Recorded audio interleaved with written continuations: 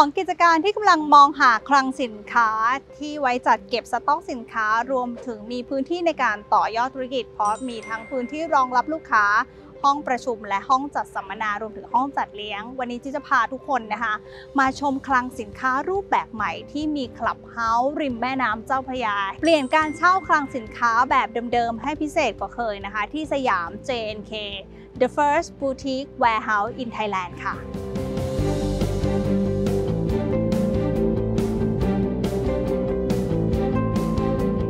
สวัสดีค่ะ จิ๊บ CEO บริษัทเวลติเนตเอสเตทเจ้าของเพจอสังหาเรื่องจิ๊บจิ๊บค่ะ ถ้าพูดถึงธุรกิจโลจิสติกในช่วง 2-3 ปีที่ผ่านมา ถือว่าเป็นธุรกิจที่เติบโตอย่างก้าวกระโดดมาก ๆ เลยนะคะ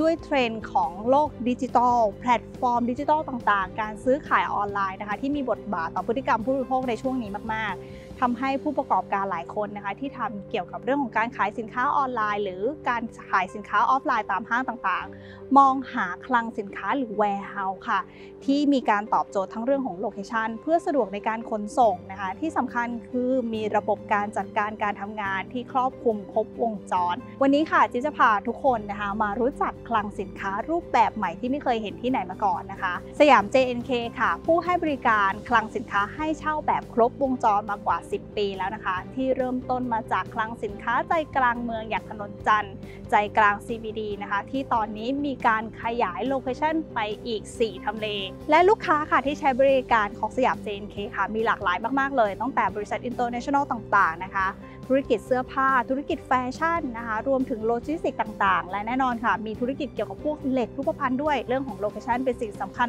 มาก ๆ ในการทำธุรกิจ และสยาม JNK เองก็เลือกโลเคชันมาได้ดีมาก สมกับตามคอนเซปต์ของบริษัทนะคะ ที่เลือก the best location for your business ค่ะ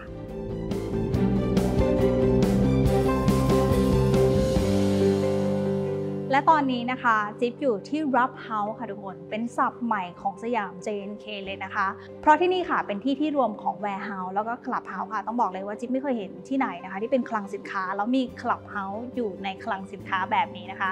ที่นี่ค่ะตั้งอยู่ที่ราชบูรณะ 29 ค่ะ ถือว่าเดินทางสะดวกมากๆเลย เมื่อกี้จิ๊บขับรถมาจากอโศกก็ใช้เวลาประมาณครึ่งชั่วโมงนะคะ ที่โครงการนี้เนี่ยถ้าเกิดพูดถึงการเดินทาง ถือว่าเดินทางเข้าเมืองได้ค่อนข้างง่ายนะคะ ปกติเราจะคุ้นชินกับคลังสินค้าที่อยู่นอกเมือง แต่ที่นี่ถือว่าเป็นคลังสินค้าที่อยู่ใจกลางเมือง จะเดินทางไปสาทรนะคะ ก็ประมาณ 10 นาที ตรงนี้ตั้งอยู่ฝั่งตรงข้ามกับถนนพระราม 3 ค่ะ จะเดินทางเข้าเมืองก็สะดวกหรือถ้าจะเดินทางออกไปที่สมุทรปราการก็สะดวกเช่นเดียวกันนะคะ ก็ตอบโจทย์กับนักธุรกิจรุ่นใหม่มาก ๆ นะคะ ที่ต้องการคลังสินค้าที่ใกล้ CBD Central Business District แบบนี้นะคะ หาไม่ได้แล้ว และโครงการที่นี่นะคะยังเป็นพื้นที่ที่ติดกับแม่น้ำเจ้าพระยาคือวิวสวยมากค่ะทุกคน แล้วก็ที่สำคัญค่ะมองเห็นสะพานพระราม9จากตัวโครงการด้วยนะคะสำหรับทางด่วนนะคะที่ใกล้ที่สุดจะเป็นทางพิเศษเฉลิมมหานคร ดินแดงดาวคะนองค่ะ ใช้เวลาเดินทางจากตรงนี้ไปเพียงแค่ 3 นาทีเท่านั้นเอง ด้านหน้าโครงการก็เป็นถนน 6 เลนค่ะเดินทางค่อนข้างสะดวกเลยค่ะ พื้นที่ตรงนี้ค่ะตั้งอยู่บนพื้นที่ถึง 40 ไร่ค่ะทุกคน มีทั้งหมด 50 ยูนิตนะคะ ขนาดเริ่มต้นตั้งแต่ประมาณ 100 ตารางเมตร จนถึง 5,000 ตารางเมตรนะคะ สามารถปรับเลือกใช้ได้ตามขนาดของธุรกิจของผู้ประกอบการแต่ละท่านเลยนะคะ จะสวยงามและน่าสนใจขนาดไหนนะคะ มีอะไรที่แปลกใหม่กว่าคลังสินค้าภาพเดิมที่เราเคยรู้จักนะคะ ตามจิ๊บไปชมกันเลยค่ะ ก่อนจะไปพูดถึง WLUBHOUSE นะคะที่ขออธิบายเรื่องของคลังสินค้าของสยาม JNK ก่อนนะคะว่ามีความน่าสนใจอย่างไรบ้าง คลังสินค้าที่นี่ค่ะ ต้องบอกเลยว่ามีความน่าสนใจตั้งแต่เรื่องของโลเคชันที่จิ๊บอธิบายไปแล้วใช่ไหมคะ นอกจากนั้นค่ะยังมีเรื่องของการเอาเทคโนโลยีมาใช้ที่คลังสินค้ารวมถึงการบริการ ซึ่งตรงนี้มันตอบโจทย์กับอย่าง entrepreneur หรือ SME สมัยใหม่มาก ๆ เพราะเดี๋ยวนี้เราคงไม่ได้มองเรื่องของแค่การจัดเก็บสินค้าอย่างเดียวแล้ว แต่มองเรื่องของความอำนวยความสะดวกภาพลักษณ์ของธุรกิจเรานะคะ รวมถึงระบบการจัดการต่างๆ ที่มีผลต่อการเขาเรียกว่าแข่งขันเชิงธุรกิจในสมัยนี้มาก ๆ นะคะ ที่นี่ค่ะ ยังรองรับในเรื่องของระบบ ASRS นะคะ ซึ่งเป็นระบบจัดเก็บและกระจายสินค้าอัตโนมัติ ซึ่งโดยปกติแล้วค่ะ ระบบนี้จะถูกใช้ในอุตสาหกรรมโลจิสติกขนาดใหญ่ ซึ่งที่นี่ก็มีบริการ ก็ถือว่าเป็นสิ่งที่สำคัญในการที่จะตัดสินใจนะคะสำหรับผู้ประกอบการที่จะใช้คลังสินค้าที่นี่ รวมถึงเรื่องของความสูงของคลังสินค้าที่นี่ค่ะ สูงถึง 12-15 เมตรค่ะทุกคน การที่มีความสูงขนาดนี้มันทำให้เราสามารถจัดเก็บสินค้าได้มากขึ้นนะคะ และพื้นของคลังสินค้านะคะ ยังรองรับน้ำหนักสูงสุดได้ถึง 5 ตันต่อตารางเมตรเลยค่ะ แล้วก็สะดวกสบายในเรื่องของการที่สามารถเข้าออกได้ถึง 24 ชั่วโมงค่ะ ปกติแล้วคลังสินค้านะคะ ก็จะมี operation time นะคะ ในช่วง 9 โมงถึง 6 โมงเย็น แต่ที่นี่นะคะ ก็สามารถที่จะเข้าออกได้ตลอด 24 ชั่วโมงเลย มีรปภระบบรักษาความปลอดภัยนะคะ รองรับการจอดรถถึง 100 คันค่ะ ที่นี่ค่ะมีโซลาร์เซลล์ค่ะ ก็ถือว่าเป็นการตอบโจทย์เรื่องของ ความ sustainable การใช้พลังงานนะคะ แล้วก็เรื่องของคาร์บอนเครดิตด้วยเผื่อใครที่ทำธุรกิจแล้วอยากจะใช้คาร์บอนเครดิตในการที่ไปช่วยธุรกิจนะคะ ตรงนี้ก็ตอบโจทย์ได้เช่นเดียวกันค่ะ และด้วยความที่หน้าถนนที่นี่นะคะ โครงการนี้เนี่ยเป็นถนน6เลนแล้วภายในโครงการค่ะ ก็สามารถที่จะใช้รถเทเลอร์เนี่ยมาขนของในคลังสินค้าได้ด้วย โดยปกติแล้วเนี่ยสิ่งนี้เป็นสิ่งสำคัญมากๆนะทุกคน คือโลเคชันที่ดีในการกระจายสินค้า เวลาที่เรามีร้านค้าหน้าร้านนะคะ อยู่ในเมืองเราก็สามารถที่จะขนส่งในปริมาณที่เยอะได้ เพราะใช้รถใหญ่เข้ามาได้ และที่สำคัญถ้ากระจายไปนอกเมืองก็สามารถทำได้ด้วยเช่นกันนะคะนอกจากจะประหยัดเวลาแล้ว แล้วก็เรื่องของการขนส่งก็สามารถที่จะทำได้อย่างรวดเร็วมากขึ้นด้วยค่ะและพื้นที่ WLUBHOUSE ที่จิ๊บอยู่ตรงนี้ค่ะทุกคนพื้นที่กว่า 400 ตารางเมตรเลยนะคะ โดยปกติแล้วเวลาที่เราอยู่หมู่บ้านหรือเราอยู่คอนโด ถึงจะมีคลับเฮาส์ ถึงจะมีฟ a ซิลิตี้ส่วนกลางใช่ไหมคะ แต่ที่นี่ค่ะน่าจะเป็นที่แรกในไทยเลย ที่มีคลับเฮาส์อยู่ในโครงการที่เป็นคลังสินค้า ริมแม่น้ำเจ้าพระยา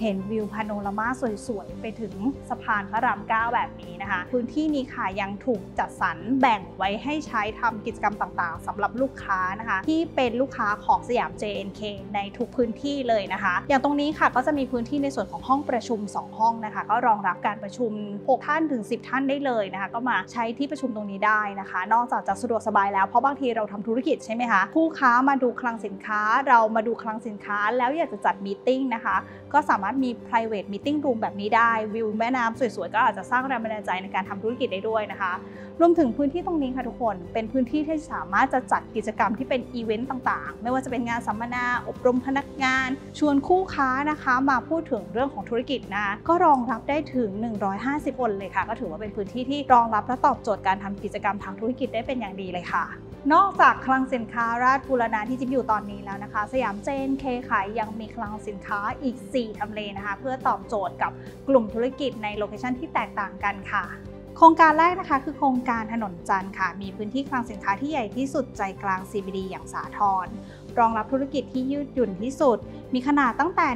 150 ไปจนถึง 2,000 ตารางเมตรค่ะ เหมาะสำหรับผู้เช่าที่ต้องการกระจายสินค้าในใจกลางเมือง โครงการที่ 2 ค่ะโครงการที่วิภาวดีสุทธิสารค่ะ พื้นที่คลังสินค้าที่ออกแบบให้พร้อมสำหรับการกระจายสินค้าเข้าสู่พื้นที่กรุงเทพโซนเหนือได้เร็วที่สุดนะคะ โครงการที่ 3 นะคะ คือโครงการลาดพร้าว 87 ค่ะ เป็นคลังสินค้าเชิงพาณิชย์ และการอยู่อาศัยที่ออกแบบให้ทันสมัย มีความยืดหยุ่นรองรับการกระจายสินค้าในเขตชุมชนเมืองโซนกรุงเทพเหนือ เหมาะกับผู้เช่าที่เป็นนักบริหารรุ่นใหม่ค่ะ และโครงการทีสี่4 ค่ะ คือโครงการพระสมุทรเจดี เป็นโครงการแวร์เฮาส์เชิงพาณิชย์และการอยู่อาศัยเหมือนกันนะคะบนพื้นที่อุตสาหกรรมสีม่วง ใกล้กรุงเทพที่จะเปิดตัวอย่างเป็นทางการปลายปีนี้แล้วค่ะ ซึ่งผู้เช่าหรือว่าลูกค้าของสยาม JNK นะคะ ที่เช่าอยู่ทุกพื้นที่เลยนะคะ ก็สามารถที่จะมาใช้รับเฮาส์ที่ราชบุรณะที่นี่ได้เลยนะคะ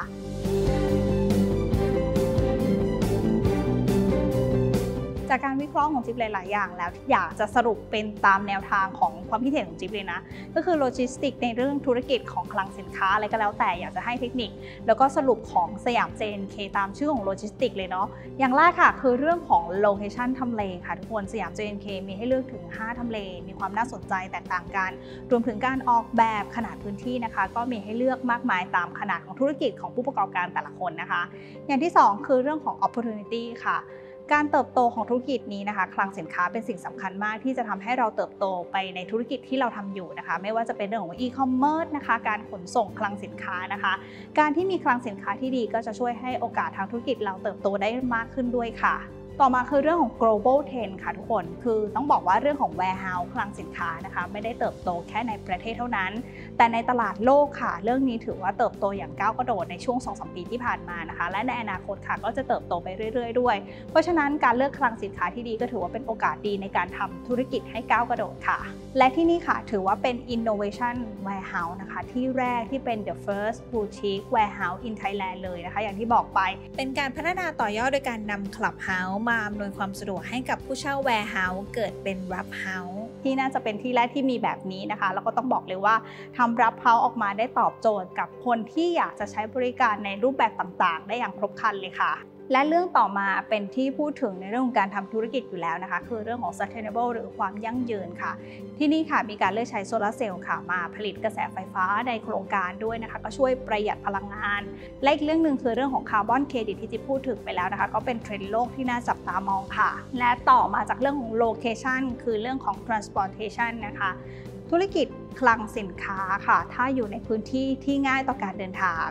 ง่ายต่อการเข้าเมือง ง่ายต่อการออกเมือง และก็สามารถที่จะมีพื้นที่รองรับรถเทรลเลอร์ได้นะคะ ก็เรียกได้ว่ามันหายากเหมือนกันเนาะในเมืองที่จะมีถนนเลนใหญ่ที่เอารถใหญ่เข้ามาได้ และที่สำคัญคือเปิดตลอด 24 ชั่วโมง ก็ค่อนข้างสะดวกสบายสำหรับคนที่ประกอบธุรกิจค่ะ และเดี๋ยวนี้การทำธุรกิจค่ะ เรื่อง image ภาพลักษณ์ก็เป็นสิ่งสำคัญสำหรับผู้ประกอบการเหมือนกันนะคะ การมีเป็นเรือนรับรองนะคะ หรือว่าพื้นที่ในการจัด ทั้งประชุมและงานสันทนาการนะคะ รองรับลูกค้าได้นะคะ ก็เป็นสิ่งหนึ่งที่จะเสริมสร้างภาพลักษณ์ให้กับผู้ประกอบการ ที่สำคัญค่ะผู้บริหารนะคะ มี passion ในการที่จะสร้างรับเฮาส์แห่งนี้นะคะ เป็นที่เรียกว่าแลนด์มาร์คของพื้นที่ริมแม่น้ำเจ้าพระยาในราชบุรณะเลยค่ะ ข้อดีทั้งหมดที่จิ๊บพูดไปมันเป็นเหมือน competitor advantage นะคะคือการแข่งขันทางการตลาดเนาะคือเดี๋ยวนี้นะคะ เรื่องภาพลักษณ์ก็สำคัญ location สำคัญ opportunity ต่างๆก็สำคัญนะคะ การที่เลือก warehouse ที่มีคุณภาพเลือก warehouse ที่ตอบสนองกับความต้องการของเรานะคะการขยายธุรกิจเนาะมีพื้นที่ให้เลือกตั้งแต่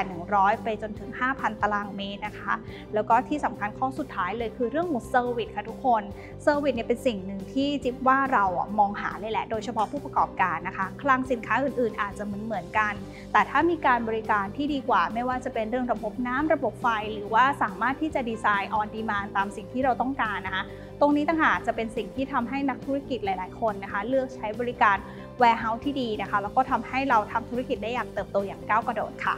ผู้ประกอบการเจ้าของกิจการผู้บริหารนะคะที่สนใจจะเช่า warehouse นะคะที่ location ดี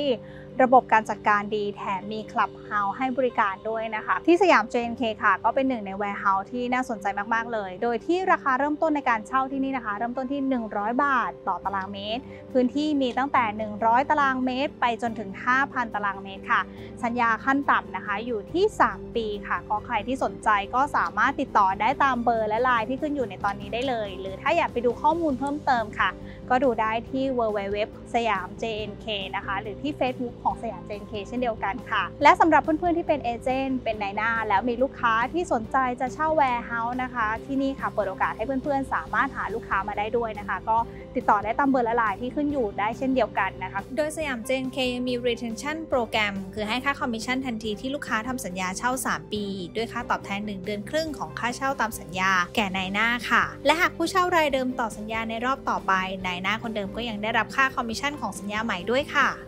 และเพื่อไม่พลาดข้อมูลข่าวสารอสังหาโปรโมชั่นดีๆ โปรโมชั่นเด็ดๆ รวมถึงความรู้อสังหา อย่าลืมกดไลค์กดติดตามอสังหาเรื่องจิ๊บๆทุกช่องทางนะคะ คราวหน้าจีจะพาไปชมโครงการไหนอย่าลืมติดตามชมกันค่ะ